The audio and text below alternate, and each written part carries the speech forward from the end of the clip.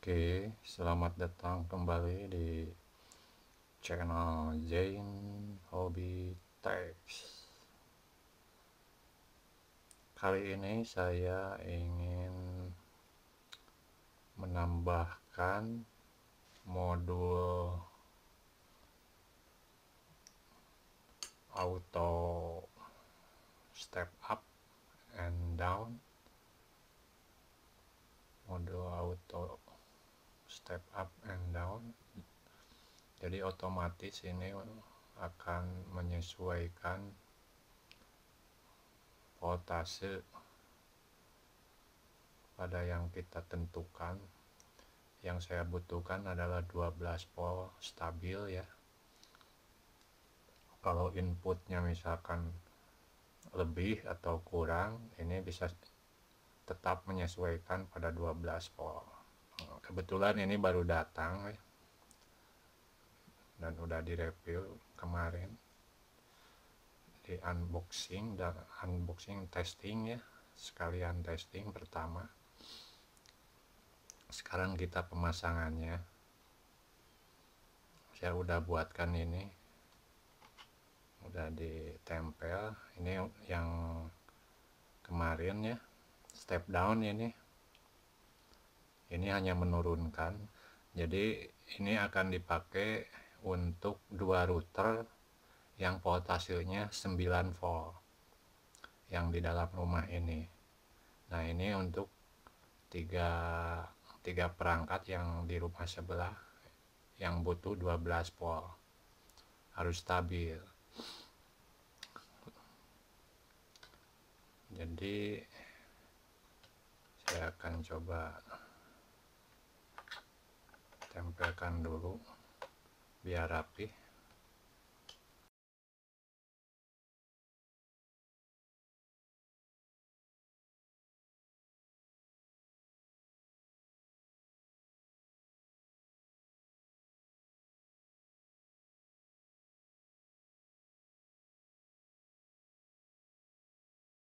Saya, saya tidak mematikan dulu ini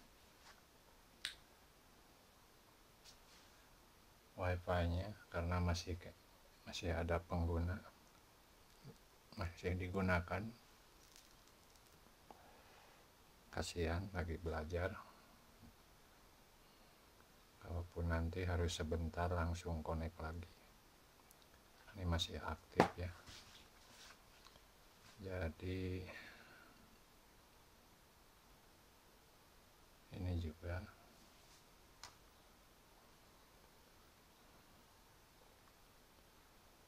nanti ini kenapa di sebelah sini saya akan pasang display nanti LED buat indikator ini ya. Sekarang belum ada. Jadi saya paten dulu di sini. Ini yang udah terpasang ke tiga router. Berarti saya harus matikan dulu. Kita matikan dulu aliran ininya. Langsung kita ubah jalurnya.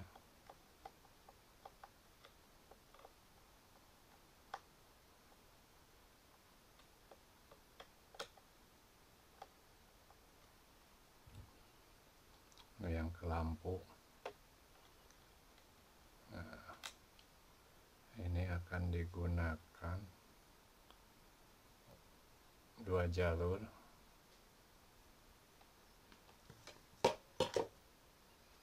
Jangan sampai terbalik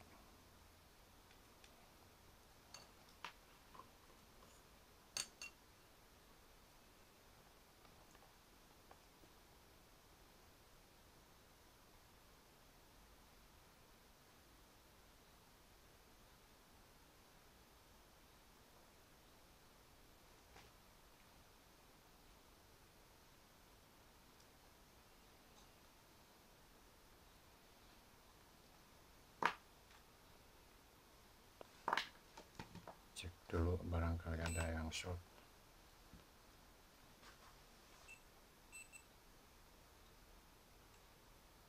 aman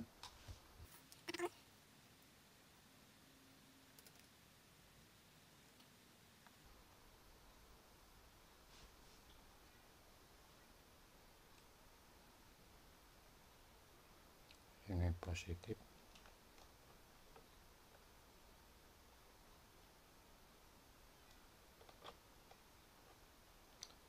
negatif 9 volt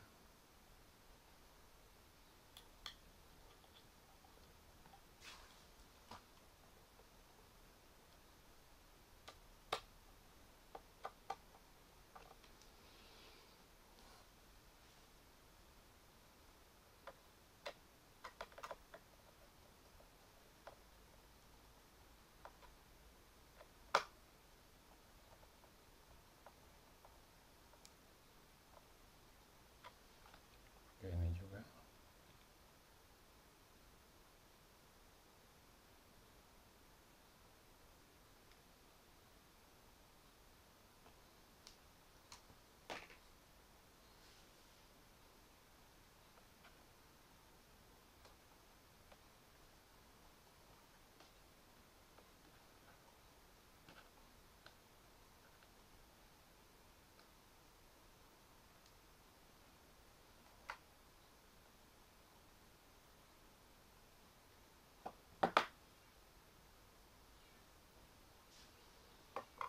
positif.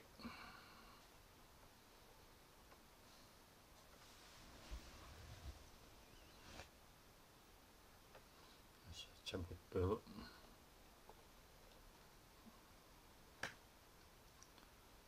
untuk memastikan voltasenya benar.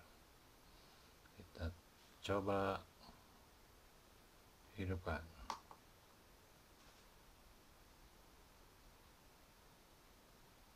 Hmm.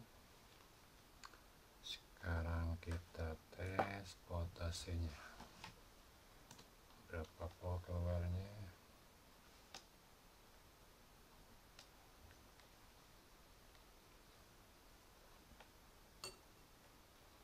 ini positif.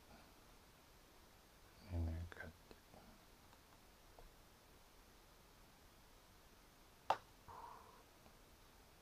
Dua belas koma tujuh.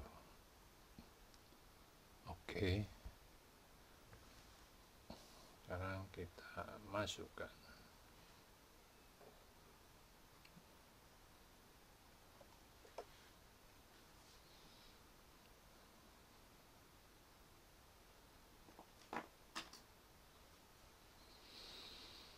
Hmm, menunggu loading dulu modemnya routernya. Agak lama kalau Huawei Telkom. Oke kita tes apakah udah jalan modemnya? Kita browsing.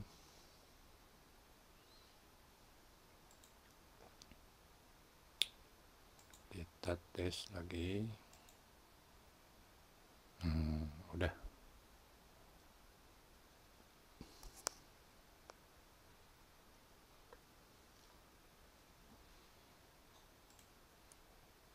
oke berarti udah berhasil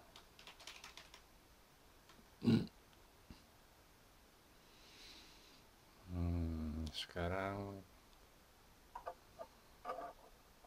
agak tenang.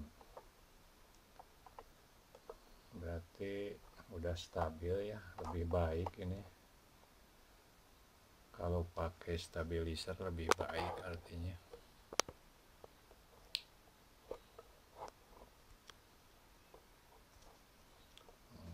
jadi yang ini akan diturunkan ke 9 volt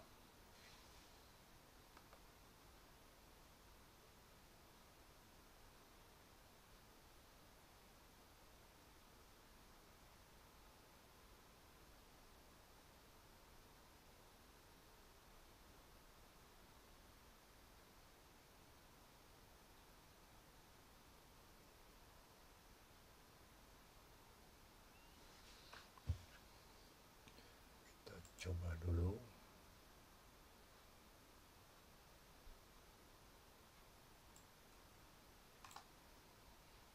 Apakah masih connect masih bagus. Oke. Ini sementara pakai mikrotik pakai mikrotik dulu RB 750 R2 jadi nanti akan dialihkan ke sini. Karena RB itu pakai yang ini biru. Kalau yang Huawei dua-duanya pakai yang 12 volt ini jalur kabelnya kemarin saya pasang berbeda gitu saya pikir akan mampu untuk sekaligus yang dua router di rumah ini. Kita coba nanti. Yang penting ini udah jalan normal. Saya akalin menurunkan untuk dua router TP-Link dan router netis yang 9 volt ini 12 volt ini 9 volt oke saya pikir cukup ini. Oke teman-teman. Udah ditempel di dinding. Saya udah pasang kipas pendingin ya. Kipas kecil pendingin ngambil dari powernya ngambil dari USB ini dari USB 5 volt. Jadi yang satu lagi bisa digunakan untuk ngecas HP nah, karena ini bebannya lebih dari 3 mega eh 3 ampere mikrotik sama dua modem Huawei. Jadi agak panas jadi saya tambahin heatsink ini ya dipindah ke sini lalu ditambah kipas. Jadi yang ini nggak nggak menggunakan heatsink karena bebannya kecil ini untuk dua router ya dua router di rumah ini ya. Cuman satu ampere. Yang satu TP-Link yang satu netis. Itu masing-masing setengah ampere. Ini saya udah pasang kabelnya udah. Udah dipasang kabel. Sekarang kita sambungin. Sekarang ini kita cabut dari adaptor. Sekarang digantikan secara langsung dari ini ya ini kabelnya ke sana. Kita langsung kabel kuning LAN kabelan ke bawah ini sini karena ada kebutuhan.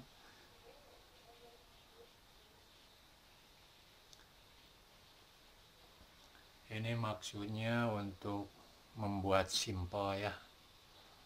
Simple jalur jalur jaringan yang saya rencanakan. Efisien, simple dan mudah. Mudah sekali untuk diatur-atur. Jadi itulah maksudnya. Jadi kalau saya mau menggunakan melalui LAN tetap tinggal colok.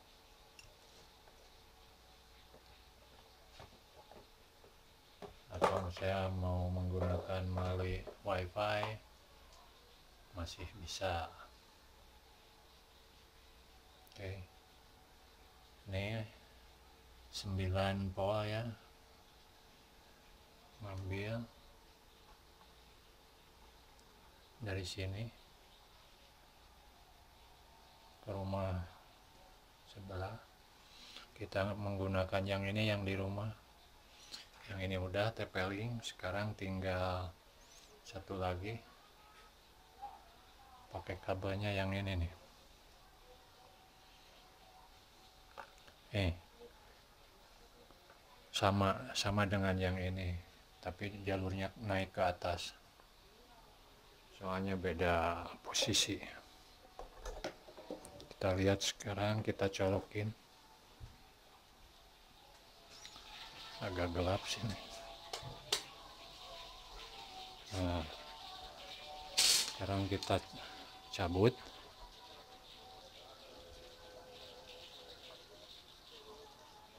Agak gelap.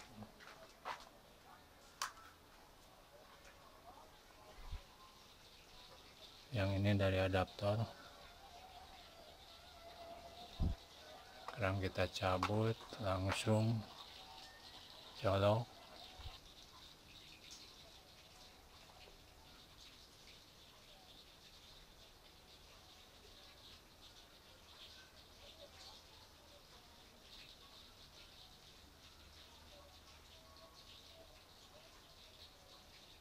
Ini repeater ya. Jadi nge-repeat sinyal yang dari rumah sebelah. Jadi cuman butuh ini aja. Power DC udah jalan. Repeater. Kita cabut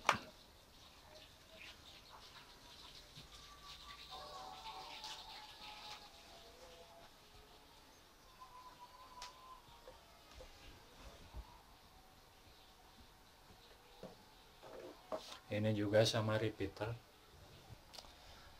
Jadi untuk saat ini uh, proyek ini udah berhasil ya.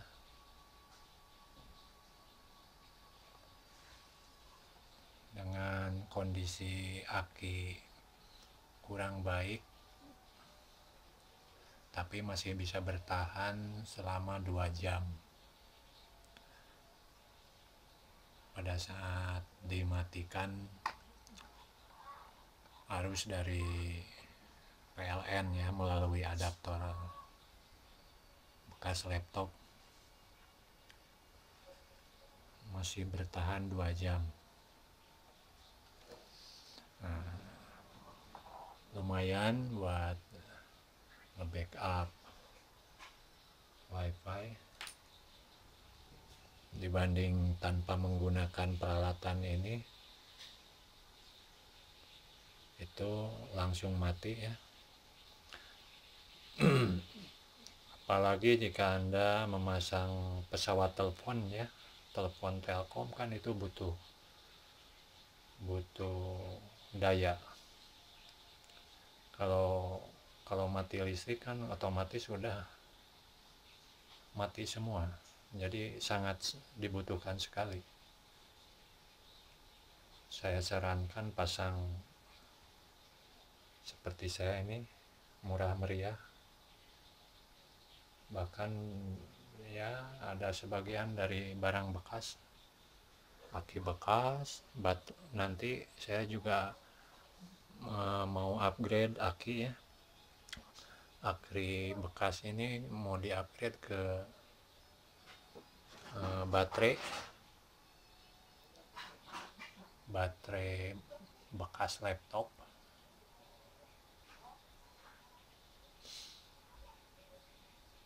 Yang penting bisa lebih bertahan lama. Oke segitu dulu ya. Terima kasih udah menonton. Semoga video ini bermanfaat. Sampai jumpa di video berikutnya. Salam. Dah